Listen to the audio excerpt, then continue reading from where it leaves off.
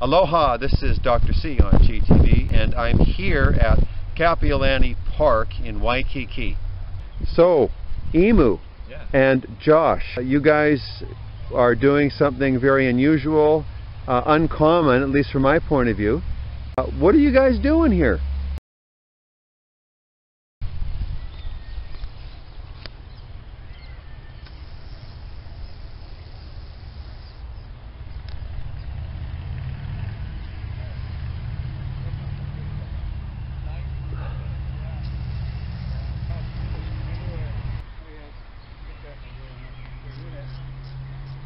And just you want to be using your fingers.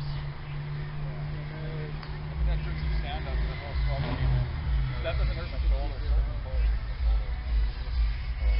Long extension or pressure.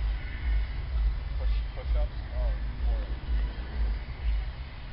I'm talking to uh Kind of like surfing there a little bit too. Oh yeah. uh I just modify. Yeah. A lot of flexibility. Flexibility is an asset. Oh yeah. really long, of course. Good core strength, man. Nice.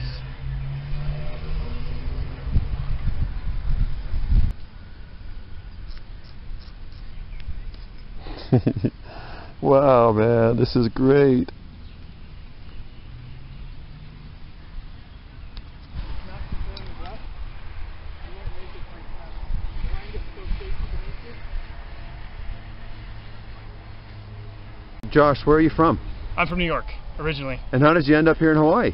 I am in the military, so they've just been carting me around all over the place. Uh, last in California for the last five years, and uh, now I'm here for the next four years. So trying to build a community in Hawaii and um, build it in the next place, like hopefully like Germany or something like that. Maybe like three weeks ago, we had an 84-year-old woman hop up on one of my yoga lines. So I mean, there is no age limit. There is no skill required. If you have the interest and you want to try it, it's there. You can do it. Do you need to be certified to teach this? I don't think there's necessarily a certification. It's more of the patience in order to work with people.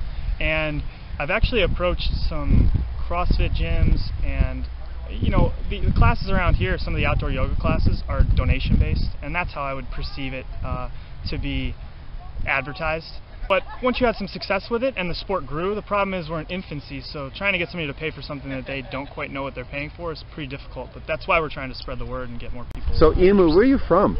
I'm from San Jose, California. And how did you end up in Hawaii? I came here for school and went to UH Manoa. Originally came here for research, but I kind of didn't like it that much.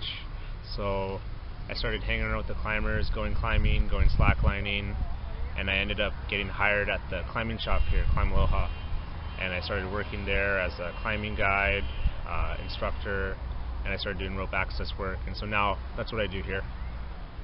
And the idea or the concept of slack lining, what is it about the sport that you want to see change? I think maybe one important thing for everyone involved is safety. A lot of people will, don't really take that into consideration and they'll just rig something up, just put up a line, and not really think about that. So actually, right now, we're putting together what's called the ISA, the International Slackliner Association, we're going to kind of come up with some safety standards and hopefully get information out to the public. So you've never heard of slacklining before, and I'm sure a lot of people watching this haven't. So getting slacklining out there as a sort of thing that people recognize, and then understanding that there's a lot of safety that goes along with it too. This is Dr. C on Chi TV.